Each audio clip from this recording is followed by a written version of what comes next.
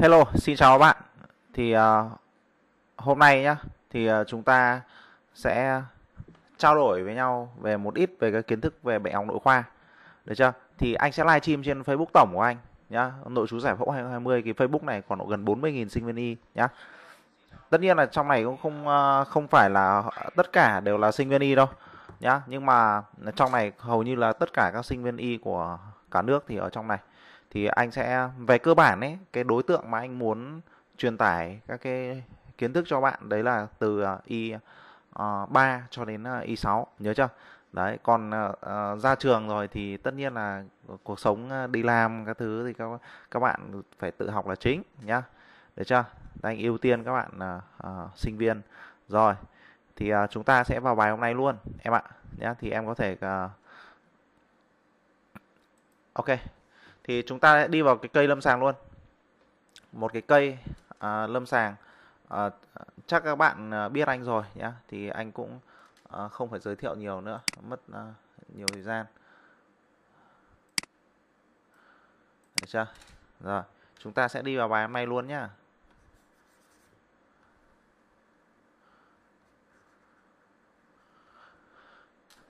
À, họ tên ca lâm sàng à, nội khoa ôn thi nội chú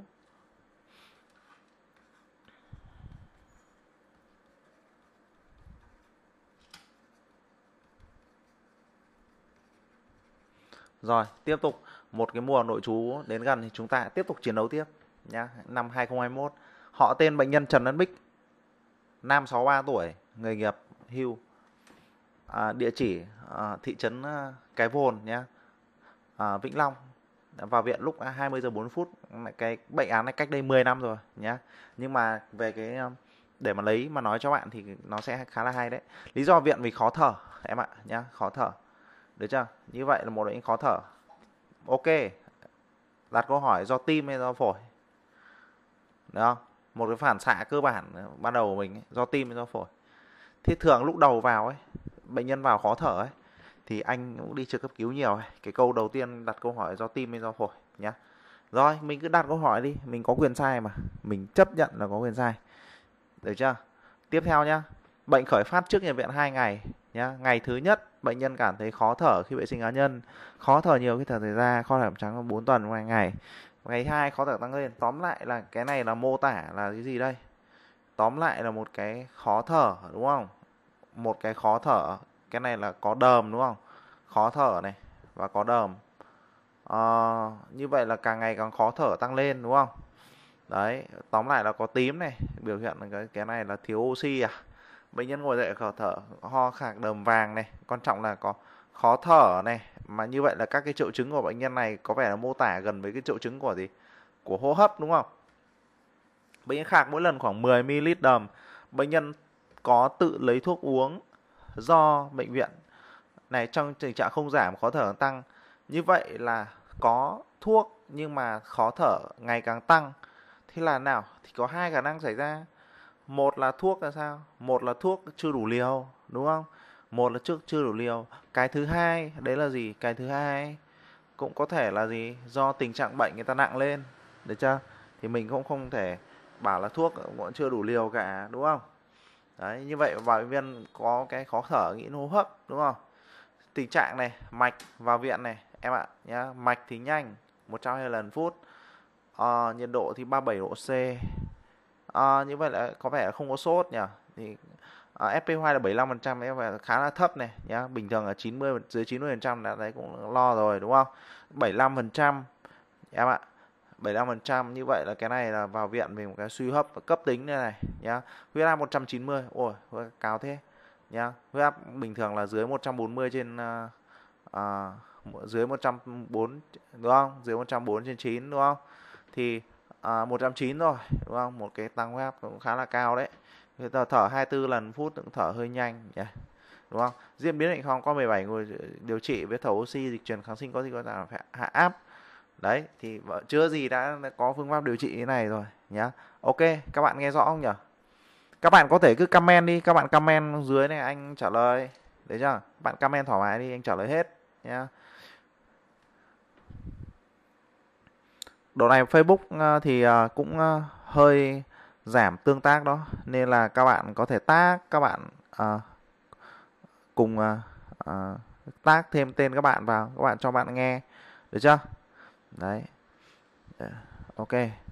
Thì à, à, nội nhi thì tóm lại nó vẫn là cái gốc của các cái chuyên ngành rồi. Thì các bạn cứ cố gắng thôi nhé tất nhiên là sau này các bạn cũng chưa chắc ờ, các bạn đã làm nội khoa đâu nhé cái sau này các bạn chưa chắc làm nội khoa đâu. Nhưng mà cái điều kiện tiên quyết các bạn muốn vào nội chú ấy là chắc chắn là các bạn phải học nội khoa nhá. Được chưa? Và bắt đầu là cái bắt đầu phải học nội khoa. Được chưa? Đấy thì mình qua những phân tích bệnh án này mình rất là nhớ đúng không? Thở oxy này được chưa? Dịch truyền kháng sinh corticoid gian phế quản hạ áp ok. Đó như vậy là bệnh gì mà lại dự này. Thế và phân tích nhá 5 ngày đầu mệt khó thở huyết áp này à, 200 trên uh, dao động huyết áp rất là dao động đúng không? Phổi thông khí giảm có gian rít gian ngáy như vậy nổi trội lên các triệu chứng hô hấp một gian rít gian ngáy có thể biểu hiện có các cái co thắt đường thở em ạ nhá. Gian rít gian ngáy nhá. Đấy gian rít gian ngáy là biểu hiện của các cái cái cái đường thở nó bị chít hẹp sẽ nghe các cái gian như thế này. Được chưa? 5 ngày đầu và 8 ngày kế mệt còn sốt ăn uống kháng ngủ được huyết áp 120 trên 70 MPH 92 trên 4 trăm.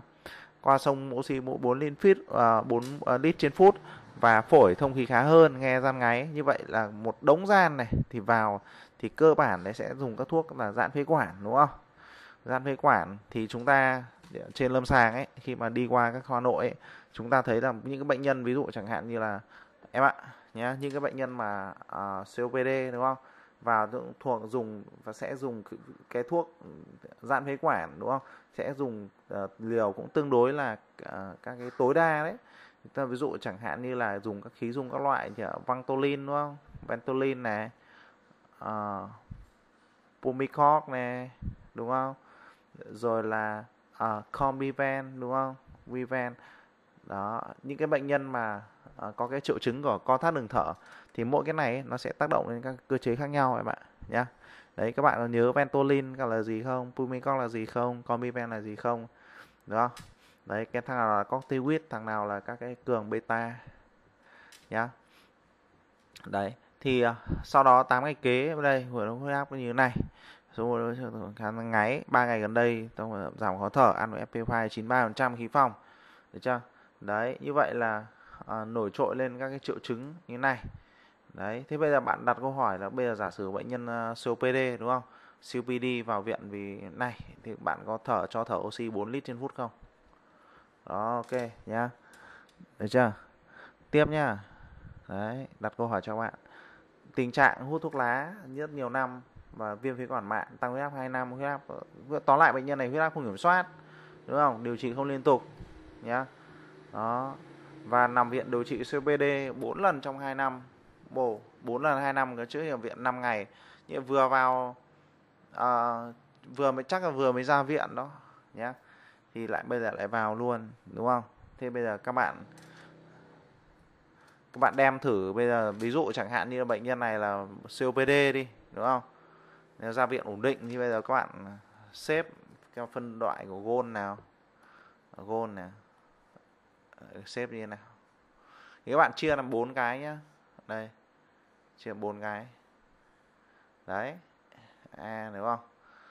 Đó. Đấy, a này b này c này d này đó lúc chiều đăng có đăng cái ờ, anh đăng có đăng cái sở tớt đấy. Có bạn bảo là cái gì nhỉ? À, bạn ờ, có cái đơn cái, cái có cái đơn thuốc ấy cái đơn thuốc ấy các bạn mở ra mà xem. Đấy thì bây giờ xem phân độ như thế nào? Đó các bạn phân độ như thế nào? Các bạn có thể cứ comment vào cái bài dưới này này nhá. Bài dưới của anh đăng comment vào đấy.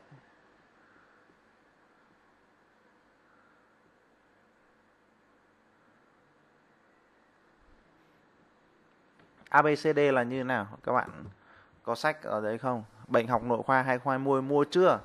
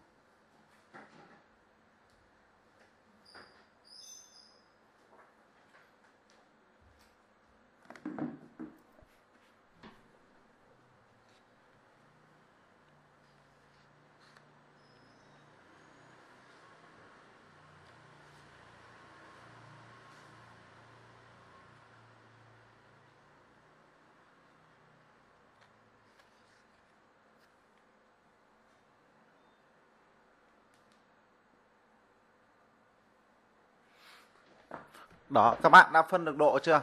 ABCD đó.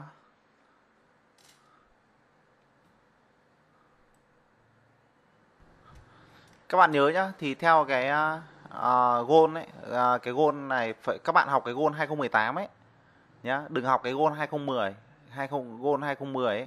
Trong sách bị cũ rồi như vậy các bạn thi các bạn thi nó bị uh, nó bị cũ ấy nó không cập nhật lắm đâu. Thì uh, cái uh, người ta dựa vào cái FE nhá thì người ta dựa vào ví dụ nhỉ trong cái đơn thuốc ở trên Facebook của cá nhân của anh ấy Facebook cá nhân của anh ấy thì anh đăng một cái có cái, cái chuẩn đoán ấy thì có cái gọi là gôn đúng không? À, à, có cái cái cái gôn là gọi là cái gì nhỉ? Cái cái cây lâm sàng của anh ấy thì có cái là gôn gì? À, gôn goal ba đúng không? À, nhô goal ba này à, nhóm thì là nhóm B nói thì cái bệnh nhân đấy thì có FEV1 là 41% đúng không? Như vậy là tính theo các phần trăm của FEV1 dự đoán đúng không? Thì sẽ có một cái bảng là như thế này. FEV1 nhá. Thì ví dụ các bạn kể này. FEV1 này thì gôn các mức này, 1 này, 2 này, à, uh, 3 này, à, uh, 4 được chưa? Các bạn cứ nhớ cho anh này nhá. Đấy. Uh, uh, 3 cứ nhớ là 3 là từ 30 cho đến 50 nhưng mà không chạm 50 là đến 49 đúng không? Các bạn nhớ 3 là 3 3 đến 5 được chưa? Tiếp theo cái này là 5, 2 là 50 cho đến à, 8 nhá, đến à, à, 8 à, thưa không thì không đến 8 là sẽ đến là 79 được chưa? Cái này ấy, thì sẽ đến là khoảng độ là từ à, 80% đổ lên được chưa? Còn 4 ấy thì là dưới 30 đó nhớ chưa? Đấy cách cách nhớ của anh. Nhá thì các bạn quan trọng nó chỉ là những con số thôi mà.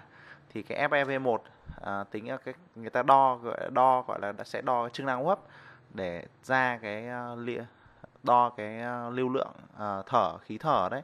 Thì cái này là trong cái dây đầu tiên được, được chưa? Các bạn chắc không phải nói lại cái FEV1 là gì nữa nhá. Đấy thì cái à, này bệnh nhân đấy là gôn 3 em ạ kia là 41% gôn 3 nhóm thì nhóm B. Đấy nhóm B. Nhóm B. Như vậy nhóm B là gì? Nhóm B là nhóm nguy cơ nguy cơ gì? Nhóm nguy cơ thấp nhưng mà lại nhiều nhiều triệu chứng nhá. Bệnh nhân đấy đúng không? Bệnh nhân này nhá thì auto là 5 ngày rồi đúng không? Như vậy auto là sẽ, bệnh nhân này có một đợt cấp phải nhập viện đúng không? Đấy một đợt cấp phải nhập viện. Đây là anh đang nói cái cái đơn cái đơn ở trên Facebook anh nhá. Nhưng mà bây giờ trở lại bệnh nhân này đúng không?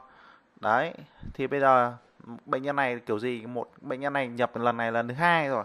Nếu mà bệnh nhân này ra viện ấy thì sẽ là thì sẽ là uh, lớn hơn hoặc bằng một đợt cấp nặng phải nhập viện đúng không? Nặng đây này SPO2 tụt rũi rụi này đúng không? Lớn hơn một đợt cấp phải nhập viện nhá. Và nếu mà có bạn có cái như vậy là chắc chắn cái này là gôn C hoặc là gôn D rồi đúng không? Như vậy và uh, uh, tức là cái cái 2018 này thì sẽ tách biệt cái chuyện FEV1 ra khỏi cái chuyện mà xếp gôn đấy nhá. Đấy thì uh, cái gôn này nếu mà bạn chấm cái điểm à, uh, MLC đúng không? Hoặc là cái ờ, uh, CAT đúng không? Có điểm uh, bộ câu hỏi khác có 8 câu hỏi tổng 8 năm 40 điểm đấy. Thì uh, sẽ như vậy là cái này đúng không? Có lớn hơn một đợt cái đất cấp phải nhập viện đúng không? Đó cái này còn có hai đợt cơ nhá. Tính lần này lần thứ hai cách có 5 ngày. Thì như vậy là gôn C và gôn D rồi đúng không? Và uh, cái này uh, thuộc nhóm uh, tất nhiên là nặng như này thì nhiều triệu chứng rồi đúng không? Như vậy tùy đánh giá khi ra viện nào. Cái này khả năng là gôn D em ạ nhá. Nặng được chưa? Ví dụ chẳng hạn như là CAT à, điểm à, bộ câu hỏi CAT có 8 câu hỏi thì cái trên 10 đúng không? Điểm LIC lớn 2 tức là bệnh nhân là sao? Tức là lớn bằng 2 tức là bệnh nhân à, à, đi chậm à, hơn do khó thở hoặc dừng lại đời thở à, khi đi cạnh người cùng tuổi. Đó thì cái đấy thì cái chắc này chắc chắn cái này không thở được rồi thì cái này phải dừng lại thở khi sau khi đi à, 100m hoặc cái này nếu mà chấm điểm MLC thì cái này là 4 điểm cơ. Đấy 4 điểm tức là rất khó thở khi ra khỏi nhà hoặc thay quần áo đúng không? Đó và đòi hỏi nhập viện được chưa? Và 3 tháng nay bệnh nhân thường xuyên khó thở lại trong nhà. Đấy thấy chưa? Thường xuyên đi khó thở khi đi lại trong nhà. Đấy các bạn thấy bệnh án hay không? Bệnh tuyệt vời không? Cái này là cái này mục đích ấy cái mô tả cái này này để cái tiên lượng ấy. Cái này là cái, cái chấm cái điểm em này uh, em em ạ nha. đấy thì vấn đề là bệnh án ấy các bạn phải mô tả cái này vào chấm MRC đúng không? Cứ quan trọng là tại sao xếp được cái này phải chấm cái điểm này phải mô tả cái này vào. Bệnh nhân khó thở khi đi lại trong nhà nhá. Đấy và gắng sức khi thay quần áo gắng khó thở đúng không? Có thể mệt cả khi nghỉ ngơi và có xịt thuốc cắt cơn thì giảm nhưng không phải hẳn nhá thuốc cắt cơn. Cắt cơn là gì? Nó xịt sabu có gì đâu đúng không? Sabutamol đúng không? Cái này nó tái cấu trúc được chưa? Ví dụ cái thuốc càng ngày nó đáp ứng càng kém đấy. Bệnh nhân vừa về nhà được 5 ngày uống thuốc theo đơn của bệnh viện thì chuẩn đoán đợt cấp COPD nhá. Đợt cấp COPD à, tăng huyết áp à, uống à, uống ong mang tanh. Đấy, ong ong mang tanh các bạn toàn đọc ong mang tanh đúng không? Augmentin cái này là cái này là amoxicillin này amox đúng không? Với cả uh, clavulanic acid ấy. cái này là có cái chống lại cái um, cái chất mà nó kháng vòng beta lactam ấy nhá. Được chưa? Một gam một viên ba lần 3 gam nhiều cũng nhiều đúng không? Điều trị cái bệnh phổi mãn tính chắc là trong viện thì dùng kháng sinh rồi nhưng mà ra viện này dùng cái này em ạ nhá. Dùng kháng sinh nhóm beta lactam à, uống meron cái này là methin à, cái này là methin à, pres à, ni à, zolong. Cái uống liều 16 nhá. Liều 16 thì cũng 16 cũng không phải là cao lắm nhá. Không phải là cao lắm em ạ nhá. Bình thường ấy cái đợt trước anh có dạy các bạn cái bài à, à, suy thận ấy. Bình thường ấy cái cái meron ấy ví dụ các bạn uống liều 4 ấy thì nó nó ví dụ à, các thầy hay bảo là cái này giống gần giống liều sinh lý em ạ nhá. Meron 4 là thấp đúng không? 16 uống. Nhưng mà cái này không kéo dài đâu nhá. Cái này không không phải là ngày nào uống đâu. Cái này uống trong vòng một tuần phải cắt đi. Nguy cơ là nó là nó sẽ nguy cơ là suy thận đấy nhá. Một viên uống Nexium 40 cái này là cái gì nhỉ? Cái này là esomeprazole đúng không? Cái này là một loại PPI nhá. Thỉnh thoảng có mấy bạn bạn cứ hỏi à, uh, omeprazole nhá nhá. Bây giờ ai còn dùng omeprazole nữa? Nhá. Bạn nhá ESO này Nexum đúng không? Nếu mà thêm cái múp đa tiểu đơn vị nữa mà học trường tiêu hóa thì cũng đấy hay đúng không? Cái ca à, orit cái này là cái gì đây? Nhá. Cái này thì tất nhiên là cái này là không phải ca không phải kali à? Hay là Caleorit nào? Các bạn thử lấy à, mạng các bạn tra là là cái gì? Anh đoán cái này là kháng sinh ấy.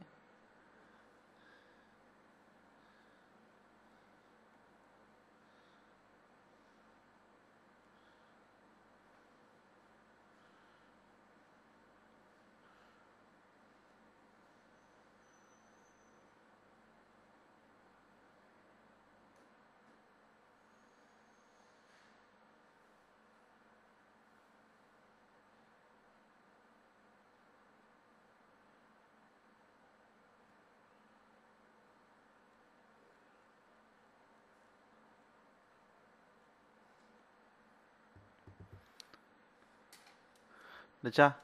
À, Covaxin cái này là thuốc uh, ức chế men chuyển em ạ. Yeah. thì gia đình không ai mắc với tương tự khám lâm sàng này thế này. Được chưa? Đấy có một cái khám rất là cơ bản nhé. lồng ngực hình thùng được chưa? Các khóa giãn giãn rộng có các phụ nhẹ dấu hiệu rover dương tính dùng thành giảm ở hai bên phổi. Nhá thông khí giảm hai bên đáy phổi cái gian ngáy rất ẩm được chưa? Được chưa? Cái này là dấu hiệu rover nhá. Cái này cũng biết biết rồi nhá anh không nói lại được chưa? Cái khám tim này màu tim đo khoa giữa năm đường giữa dàn trung trái dung mưu không dung mưu đúng không? Hát xe xem cái chạm rội ba đúng không? Tim mờ nên thì tim rất là nhanh. Đấy thì các bạn khám cái này các bạn quen rồi đúng không? Tóm tắt này một cái nhá. Được chưa? Hôm nay thì à, sẽ chủ yếu là chữa cái tóm tắt được chưa? Chữa tóm tắt các bạn hôm sau sẽ nói về thuốc các bạn nhé bệnh nhân nam này à, uh, 63 tuổi và bệnh khó thở ghi nhận triệu chứng này. Như vậy có cái triệu chứng của uh, suy hô hấp Ờ, đúng không? Mạch thì ờ, nhanh SPO2 thì ờ, tụt đúng không? Có, có, có triệu chứng của suy hấp nhá và có cái kèm theo cái tăng huyết áp đi kèm nhá. Được chưa? Nếu bảo là cái tăng huyết áp này nó có thể gây ra cái cái suy hấp này không thì nó cũng có thể có đúng không? Nhá thì một số các cái nhưng mà cái này à, ví dụ như là một số cái tăng huyết áp ấy thì có thể gây ra OAP một số cái à, phù phổi đó nhá nhá. Được chưa? Thì nhưng mà cái này anh không nghĩ đến nhịp thở 24 bởi vì gian của nó là chủ yếu cái gian gian có thắt là chính nhịp thở 24 móng tay. Như vậy là có cái này này như vậy cái này là biểu hiện có thiếu oxy mãn tính này dung thanh giảm hai bên phổi được chưa? Đấy và hội chứng nhiễm trùng này có hội chứng nhiễm ho quan trọng ở đờm vàng này. Như vậy là một trong uh, ho khạc đờm khó thở tăng lên đờm chuyển màu đúng không? Đấy một số nghĩ cái đợt cấp có thể kèm theo bộ nhiễm chẳng hạn nhá. Lồng ngực thùng do ứ khí phế nang nhá. Lúc khí giả đan ngáy ấy, qua chủ yếu là gian ngáy này. Đấy ớn lạnh nhưng mà bệnh nhân thì không có sốt cái này không cần nhá. Tiền sử hút thuốc lá này có tiền sử liệu này được chưa? Như vậy là cái này mô tả cái này thì khả năng là đấy đúng không? Thì chuẩn đoán sơ bộ thì cái này là ờ, nghĩ là lại nghĩ là đợt cấp bệnh phổi tăng nghẽn mãn tính nhá đấy mức độ nặng đúng không? Dựa ở đâu ở nặng đây này? Nhìn ở đây này. Đây. Đây này em nhìn này. Đấy. Những cái này ấy, phải lấy ngay một cái à, khí máu động mạch nhá. Khí máu động mạch để biết cái tình trạng bệnh nhân. Được chưa? Đấy. Được chưa? Đấy. Nhá và chuẩn đoán bệnh phổi tắc nghẽn mãn tính giai đoạn 3 nhá. Biến chứng tâm phế nhá. Ừ, anh cũng chưa hiểu tại sao lại tâm phế mạng ở đây nhá. Tâm phế mạng ở đây có cái gì ở đâu mà tâm phế mạng nhỉ? Ờ cũng chưa hiểu thì cái gì mà tâm phế mạng đâu ấy. Được chưa? Đâu, tâm phế mạng đâu? Tâm phế mạng là gì? Tâm phế mạng là gì? Tâm là tim, phế là phổi mạng là mạng tính, bệnh phổi mạng tính gây bệnh tim. Như vậy nó là tim gì? Như vậy tim phải, đúng không? Tim phải. Đâu, có dấu hiệu gì suy tim phải đâu? Có thấy mô tả phù gì đâu? Phù gan to là cái gì đó, ô thì cũng, cũng lạ nhỉ. Đấy thì cái này anh cũng chưa đồng ý lắm với cái này nhá. Cái này có thể là người ta có tiền sửa trước đem vào được chưa? Tăng nước độ 3 theo gen đi 6 cũng được cái huyết áp chạy cao thế đúng không? Vậy cái này có thể là cơn tăng huyết áp nhá. Được chưa? Đấy chuẩn đoán phân biệt với viêm phổi bệnh viện. À thì đương nhiên nhá tăng huyết áp theo cái bệnh phổi. Tóm lại chuẩn đoán viêm phổi bệnh viện nặng đúng không? Được chưa? Thì tất nhiên là cái hàm nghĩa của cái này nhập viện ra viện cách đây 5 ngày đúng không? Như vậy là có vào viện đó và vừa mới ra viện. Thì cái đợt cấp này thì định hướng do nguyên nhân gì? Còn do bộ nhiễm à? Do bộ nhiễm à? Nhiễm gì? Cộng đồng hay là bệnh viện? Thì thực ra cái này ấy, nó cũng đã bao hàm ở trong cái này rồi đúng không? Được chưa?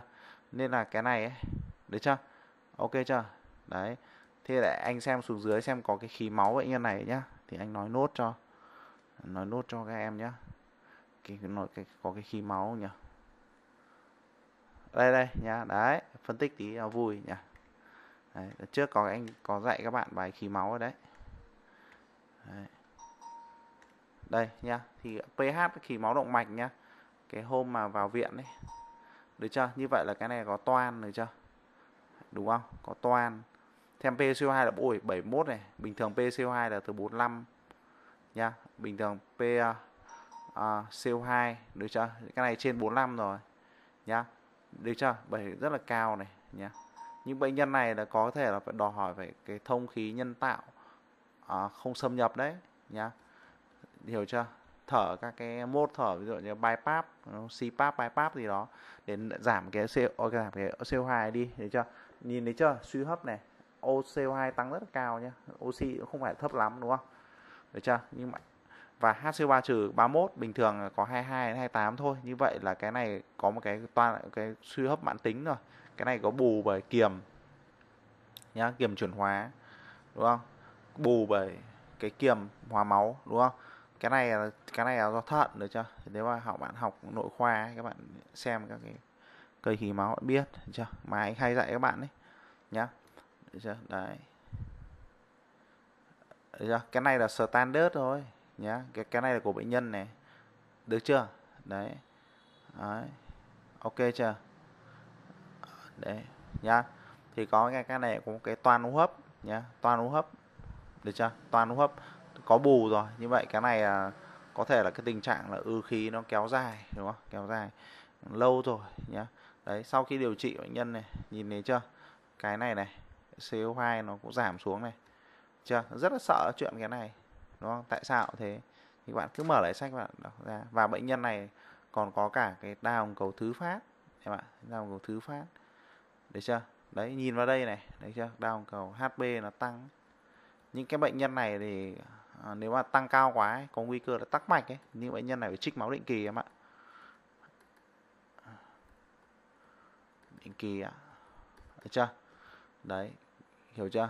Quan trọng là cái người ta giải thích là khi mà cái thiếu oxy mãn tính ấy, cái thận ấy, nó tăng tiết erythropoietin ấy, nó gây ra cái này này. Ok? Nhá. Rồi. Thì tạm thời bài hôm nay thì cái phần 1 anh cứ giảng như vậy nhá. Thì có gì phần 2 thì mai kia nào anh giải ờ, dỗi anh trao đổi tiếp với các bạn nhá. Ok?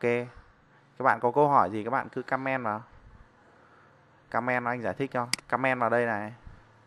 Đây này comment vào đây. Dưới cái video này của anh này.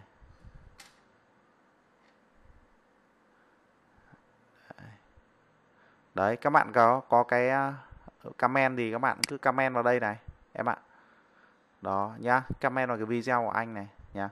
Ok, anh cứ comment đi, nhá. Anh à, có thời gian anh sẽ giải đáp hết các bạn, nhá. Muốn comment nội nhi sinh y hóa sinh nhá, giải phẫu tùy các bạn sinh học, được chưa? Đấy, thậm chí là cả ngoại sản. Ok.